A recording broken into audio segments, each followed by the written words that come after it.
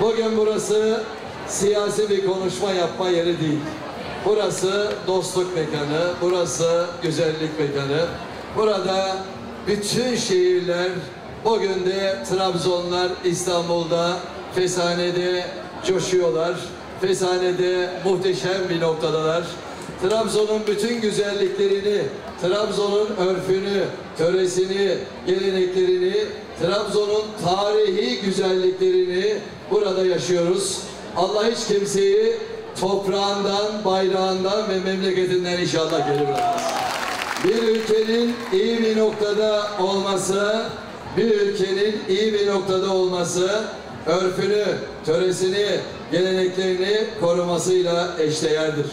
Bir ülke kendi kültürünü, kendi geleneklerini en üst noktaya taşıyorsa o ülkenin her zaman dimdik ayakta kalır. Diğer konularda diğer diğer konularda İstanbul Türkiye'nin en önemli bir göz bebeği.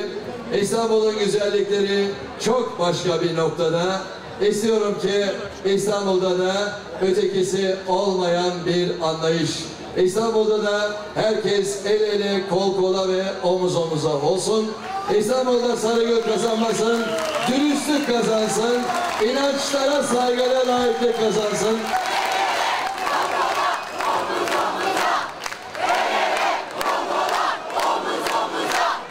Önce ülkemizi yöneten biz siyasilerin sakin olması lazım.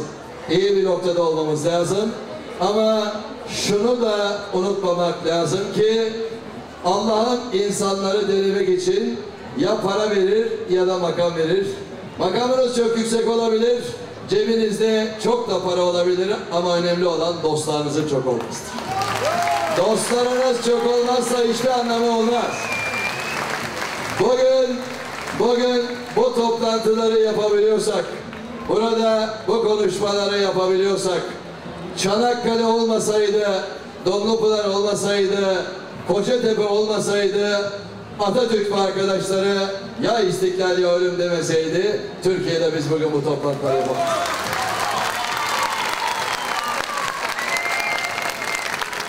O nedenle benim en büyük arzum şudur. Bana gelen vatandaşıma hangi siyasi partiye oy verdin diye sormam. Bana gelen vatan...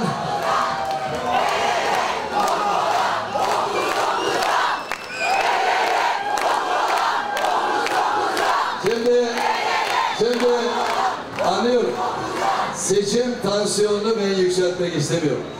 Yükseltirsem neler söylerim ve kimse o lafların altına kalkamaz.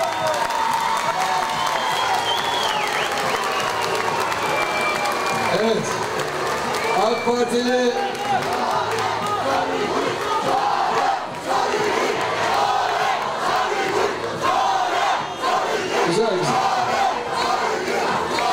Şimdi eskiden Sarıgöl Şişli Belediye Başkanı iken bir yere gitse AK Partili dostlar da alkışlıyorlardı sağ olsunlar.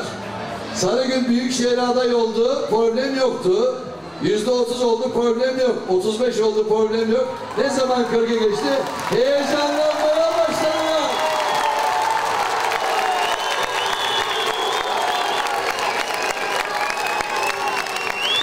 Şimdi o nedenle o ne-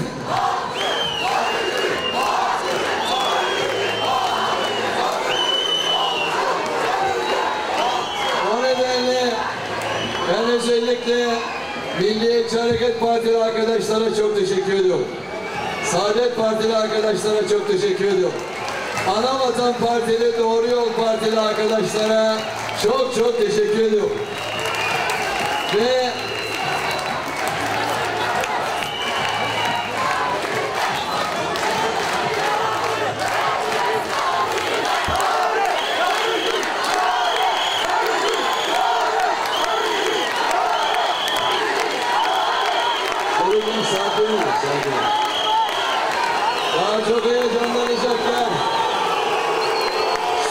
Evet